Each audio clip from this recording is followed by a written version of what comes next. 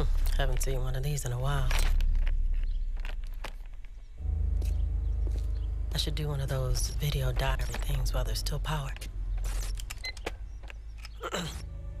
well, it's been eight months since the last attack. There's only a few of us survivors left in this ghost town of a city. We thought it was all finally over. We thought we could start a new life.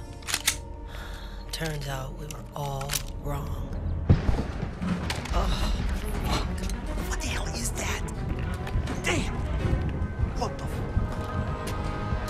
Expected this. All right, buckle up. This is it. Lock and load. Can we survive another attack? Come on! Can we actually win? Ready?